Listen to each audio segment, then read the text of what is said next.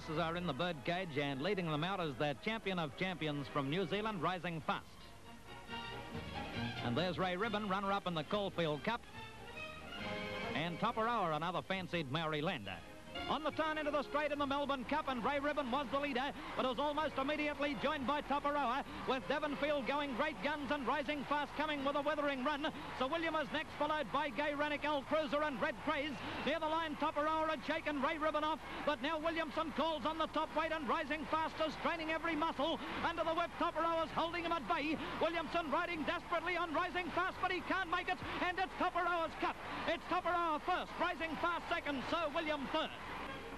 Toporoa, winner of a race worth £15,000 in prize money, also landed a small fortune in bets.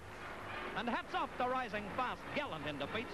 He suffered badly in a mighty rough race. The New Zealanders were all over the Aussie hayburners this year, have been for a lot of years, it seems to me.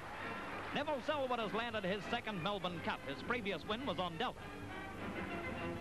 The Governor-General has the cup for owner N.H. McDonald, and congratulations for Selwyn.